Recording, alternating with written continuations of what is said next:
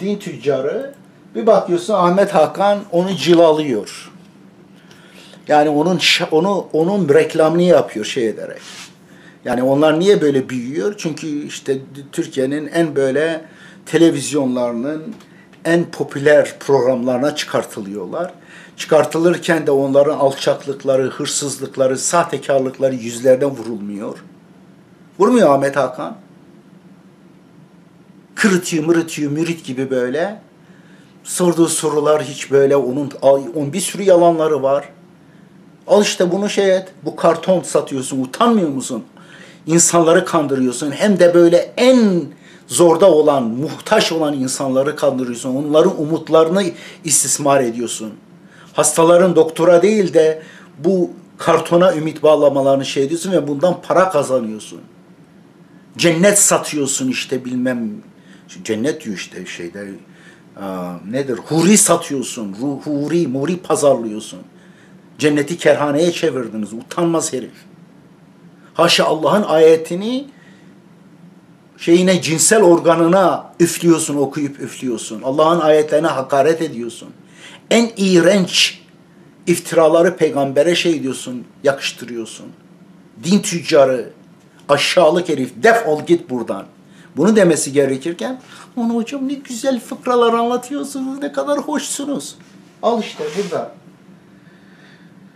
Hürriyet gazetesi Ali Ahmet Hakan çok onursuz bir adamsın. Çok onursuz, zararlı bir adamsın.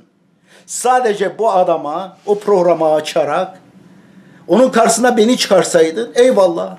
Sen dur sen onu eleştirme diyelim ki gazetecisin. Ama onu tek başına çıkarıyorsun. Ondan sonra onu da övüyorsun. Efendim cevapları. Hadi bir de benim karşıma çıksın öyle laf ebeliği yapsın. O lafı büker onun e, ne bileyim yani onun sarığına dolarım. Allah'ım ya Rabbi ya. Yani kesinlikle bu e, FETÖ'de şeyden bunlar, cilalayan bunlar, bunları da bütün bu tarikatları al işte Mevlana Celaleddin Rumi diye yüceltiyorlar, yüceltiyorlar. Onun kitabını bir okuyun Mesnevi. Bu Allah'ın vahyidir. Kur'an Kur'an gibi diyor. E niye ona mürted demiyorsunuz, zındık demiyorsunuz? Utanmaz herifler. Ve o kitabında bir sürü cinsi sapıklık şeyleri var. Bir kadının eşekle cinsel ilişkisini böyle ballandıra ballandıra anlatıyor. Erzurum'da İbrahim Hakkı bilmem böyle evliya mevliya büyük alim malim diye satıyorsunuz. Saçma salak bir sürü hurafe felaket var orada onun kitaplarında. İşte fakirliğin sebepleri bir onları okuyun. Neyse cehalet. Ama nerede popülerse cehalet bunun gibi Ahmet Hakan gibi şeyler omurgasızlar yumuşak iller familyasından maalesef öyle e bunlar bakarsın hemen yağcılık yaparlar.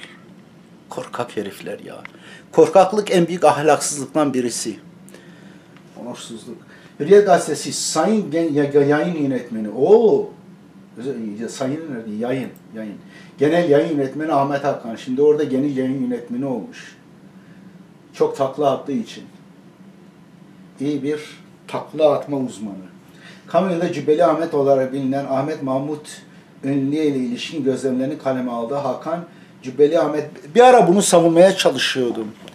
Yani bir sürü hakaret ediliyor falan. Çünkü bazen güzel şeyleri, makaleleri var. Ahmet Hakan'ın falan. Ee, ama yani hani mümkün mertebe hüsnü zan göstermeye çalışıyor. Adam biraz zor durumda ister istemez bunu yazamıyor falan ama şunu görüyorum yok abicim yani şey edilecek e, savunulacak durumu yok yani. Sadece güce yalakalık yapan, borazanlık yapan bir tip. Onurlu olsaydı istifa ederdi şimdi.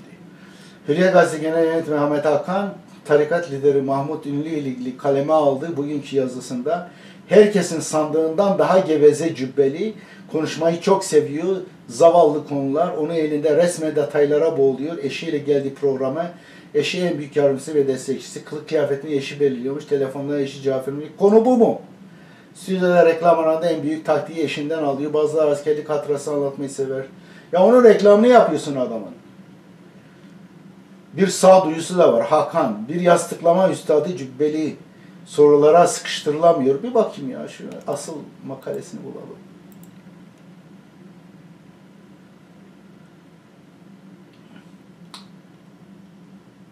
Cübbeli Ahmet. Al işte.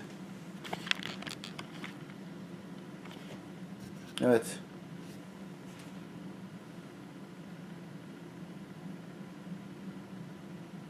Cübbeli Ahmet kendi bakışta olayları açık o.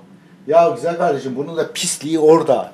Bu çocukların, bunların tarikatında çocukların hırzına hiç geçilmese ki bile ki büyük bir sürpriz olacak. Korkunç şeyler vardı. Daha pislik şey çıkmadı ortaya Türkiye'de. Çünkü onun çocukların özgüvenleri kırılır orada. İlk yaptıkları şey o çocuğun özgüvenli kişiliğini öldürmek. Zaten velileri, melileri de onlar anestezi olmuşlardır, hipnozlanmışlardır, ahmak ve aptallara dönüşmüşlerdir. Çocukların ırzına önlerine geçse bile onu göremeyecek kadar kör ve savrulmuşlardır. Onun için yani çıkmazsa değil demeyin. Hani Katolik kilisesinde, kilisesinde 20-30 yıl öncesine kadar kimse orada cinsel şey yapılır mı olur mu? Haşa Katolik kilisesi kutsaldır. Bunlar çok güvenilir, ahlaklı insanlardır derdi. Ama sonra bir çıktı, iki çıktı ondan sonra baktı ki yüzlerce, binlerce çocuğun ırzına geçmişler. Bu tarikatlardaki pislik çocukların ırzına geçme olayları tahmininizin çok ötesinde. Yüzlerce kat fazladır. Ama Türkiye'de bunu ortaya, ortaya çıkacak bir ortam yok. Çünkü tarikatları gözeten, pul, şeyleyen, cilalayan, öven, müven şeyler var. Bir sistem var Türkiye'de. Um, ama hiçbir çocuğun ırzına geçmeseler bile çocukların işte bütün dünyanın gözü önünde çocukların beyinlerinin ırzına geçiyorlar. Tarikatlara giden çocuklar mürit, mukallit, reaya ve sersemit oluyor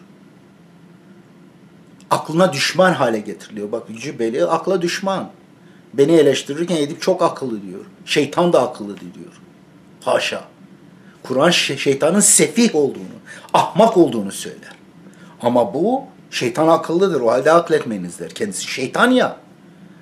İnsanlar aklederse bu adamın e, din tüccarlığı şey biter.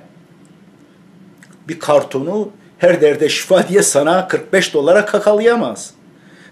sana nedir kabir azabından koruyan kefeni yani ne kefeni fahiş fiyata satamaz.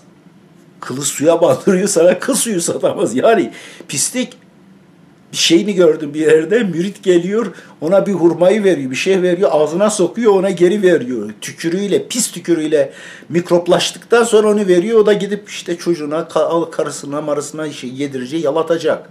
Böylesine ahlaksız iğrenç bir şey. Haşa peygambere korkunç iftiraları. Sahabeler diyor peygamberin gidip haşa pisliğini bokunu kokluyorlardı kokusu yoktu mis gibiydi. Yani gidip mis kokluyorlarmış kan içiyorlarmış. Kanını, sirini içiyorlarmış.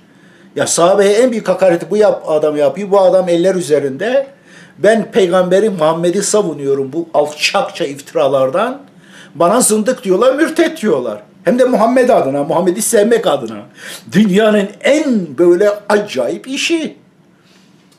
Şimdi neyse, Cübbeli Ahmet notları. Cübbeli Ahmet tarafsız bölgeye katıldı. Konumuz değil. Ya, tabii bu şimdi kendisi o biz iyiyiz onu aleyhinde konuşacak. Oğlum senin ondan bir farkın yok ki. Bir de pedofilsiniz. Peygambere iftira yapan sizsiniz alçak herifler. 9 yaşında hatta 6 yaşındayken göğe evlenmiş Ayşe ile 9 yaşındayken de yatağa girmiş 54 yaşındaki adam. E bu şeyde siz şeylerde kendinizi peygamberin naibi olarak görürsünüz. O zaman peygamberin sünnetiydi diyorsunuz. Utanmaz herif. Zaten o adam da bunu konuşuyordu. Telefon şeylerinde var diye o e, Uşşaki tarikatının şehül şeytanı. E senin ondan farkın yok ki. Pis herifler ya. Bazen askerlik harcası anlatmayı sever ya, cübbeli de ceza ve anlatmaya bağlıyor. Uzun